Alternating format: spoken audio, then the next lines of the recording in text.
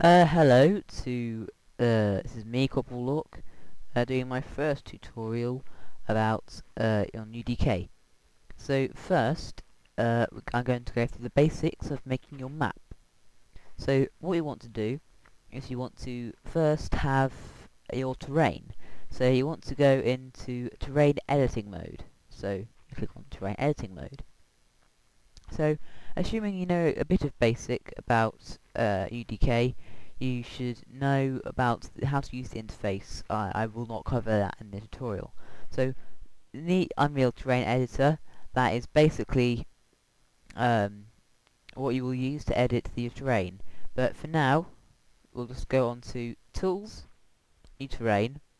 Now, depending on how uh, large you want your, or back, how large you want your land, you change the patches to the size you want them to be. So I'll make mine for oh, 48. 48. Next, that doesn't matter. You don't mess about the layer setup.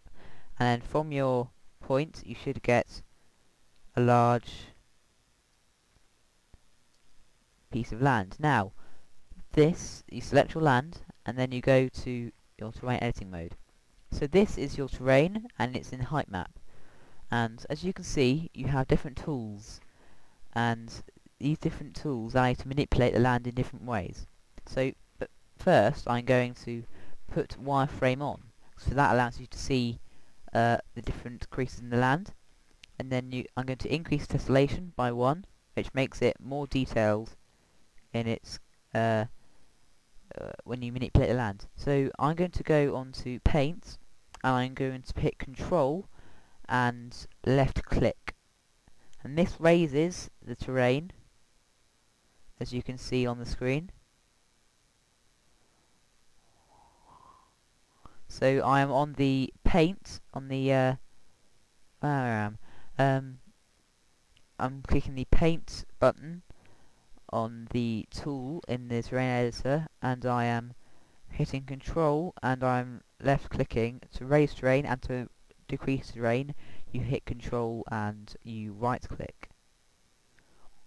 There are lots of different, uh, let's make a little surrounding area here, there are lots of little uh, different things you can do with the terrain editor to get different forms of terrain.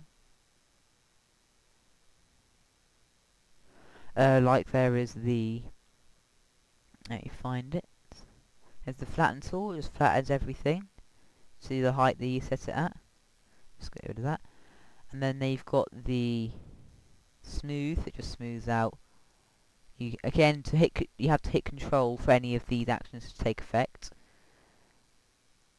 Um, and then you've got the uh, is it, average tool, uh, which basically just averages out, which is good for making slopes and roads and tracks. Right, so now you have got your terrain which you could happily play, but as you can see, war, war zones aren't usually uh, blue and white checkered uh, ground. So what you need to do now is you need to texture it.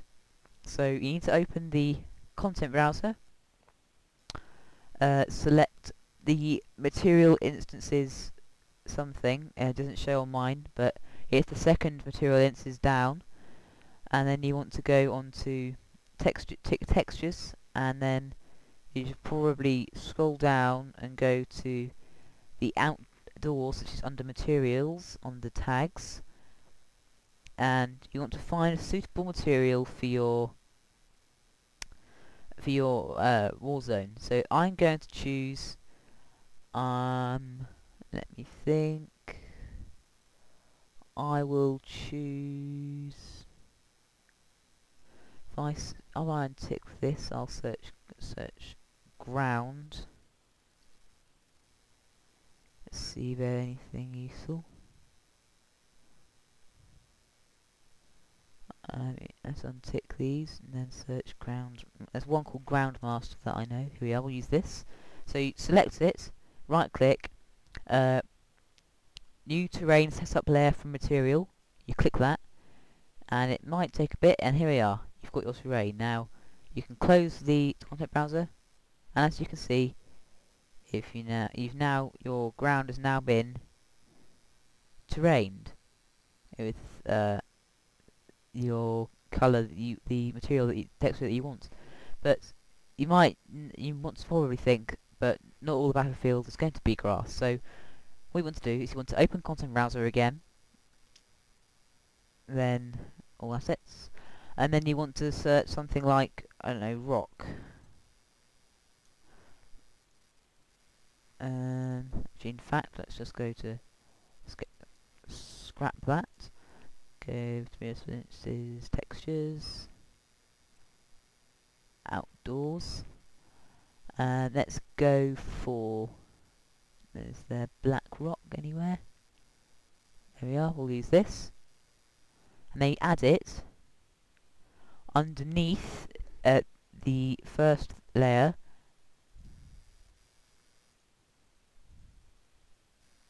Ah okay that's not a material right. Unclick ah what you need to do here is the material I'd like to use it's not actually a material you need to have a material. So if I go on to create new material. Yep, let's go there. Okay, that's fine with me.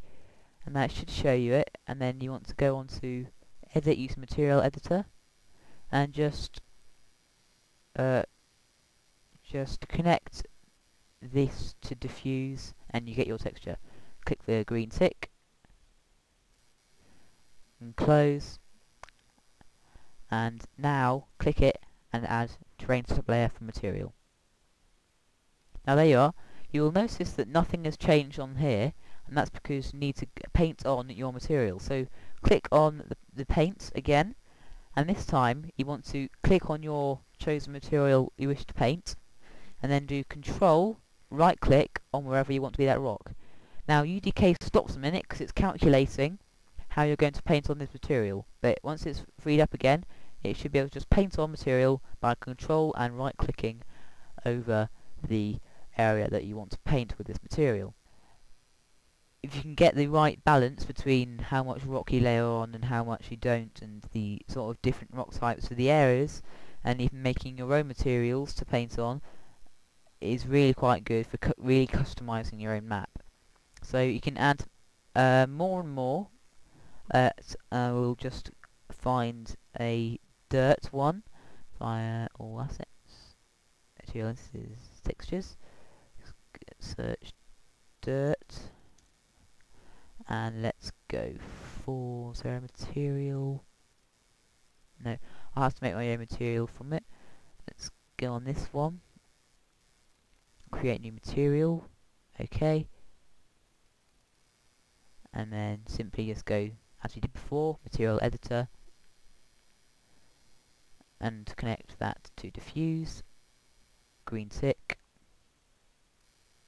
Close, make sure that's selected, right click, new material set up from, from uh, selected, right now close that and simply just paint on to whatever surface you want to paint onto.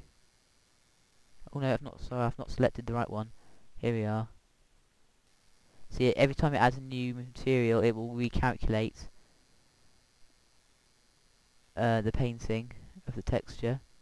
It does that on no matter how fast your computer is, because I have a particularly fast computer. It always takes time to calculate, because it's, it, it's built into the software. So now, you can now exit your material editor. You just toggle wireframe off if you wish. Uh, close Unreal Terrain Editor, and you should have your terrain. Now, all you have to do is add actor, right click, add actor, uh, add player start. You should have a player start. And then you can then just add a light, add actor, add light dominant directional light, since I'm not going to go around placing single points. If I now just change that, just grow it. And now if I go to, if I now just build geometry. It's always important. And hopefully I'll be able to play it. Now just, actually before we do that, we'll just save. Right, this is this is the first thing. We shall save it as, and exactly like this, DM. Now DM is very important because that sets it as a deathmatch mode, and that will become important for later in tutorials. So DM hyphen, and let's call it um, first map. DM hyphen first map and save. Save that. This is just in case UDK crashes. It shouldn't crash, but when I'm recording and using UDK at the same time, it can do that. So, if I play in viewport, here we are. Like what is realised here is that I need to build the lighting. So if I exit, you go to build lighting, uncheck Lightmass because we haven't got an importance volume which we'll come into at a later date again, and click OK. Now lighting should go really quickly, and then you should just play in viewport again. And that is rather odd. This hasn't seems to have worked. I'm wondering why it isn't going correctly, but I think I have an idea. What I have done wrong is if I go to train, these haven't been uh, saved. So what I need to do is you need to go to your content editor. This may be a common problem or it may not. You need to go to your if you have one, one a whether it saves the ones that you create. I just search dirt right, material instances. So it hasn't saved the materials that we've made. Never mind. Just using text review. Oh no. Create new material. Okay, you're going to be a little a bit of a uh, a shortcut now.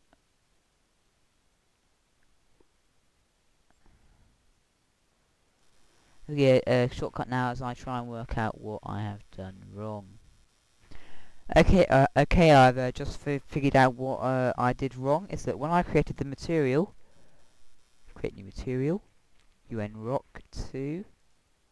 Okay, so it's under UN Rock 2.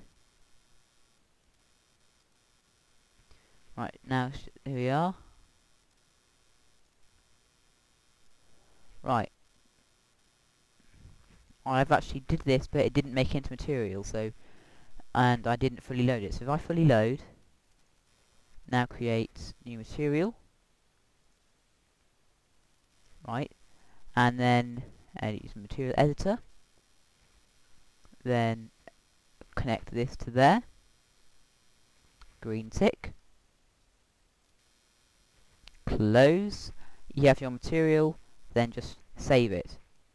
So you need to remember to fully load your uh, texture or material and make and redo it if you have to, and then okay. Let's just save that as well. I think that might be what I used. Anyway, you have to uh, do that. Make sure you save it and fully load it, and now it should render properly. So hopefully. Yep, here we are. It's done all that. As you can see, we've got a playable map that I will be using for the rest of the tutorial to show you the basics. And what I might do at later date, or you can do yourselves, is build mountainous barriers all the way around the map to like prevent, to create like a, a natural boundary so that your player can't go outside the map. Okay, so I hope this tutorial was uh, informative. Um, it, and remember, when you're saving your map, it is important to name it uh, with DM hyphen as a prefix, prefix because that is uh, comes that it designates a load of presets that uh, will become very important important for a higher part of the tutorial. Uh, okay then, thanks for watching. Goodbye.